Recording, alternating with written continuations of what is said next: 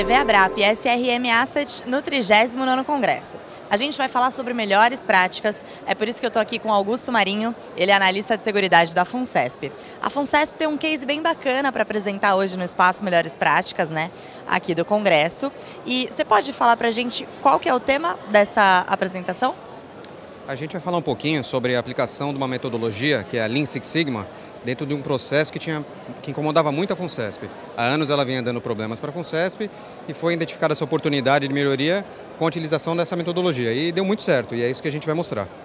Bacana. E por que, que essa prática deve ser replicada para outras entidades? Quais são os benefícios? Então, o que a gente vê muito quando é, aparece um problema na entidade é aquela questão de tratar o sintoma e não a causa.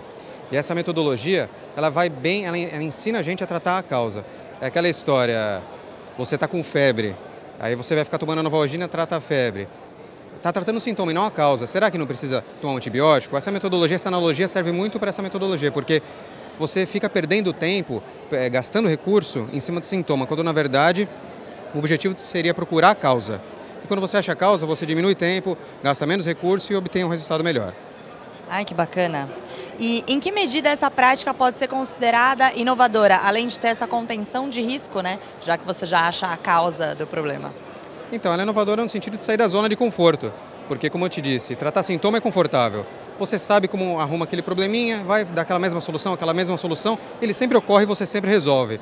Mas o problema é ele sempre ocorrer por que não resolver de uma vez por todas? Então essa questão acho que traz inovação para a entidade. Você resolve aquele problema e parte para resolver outro, e não gasta tempo sempre com o mesmo. Tá certo. Augusto, obrigada pela participação. Obrigado.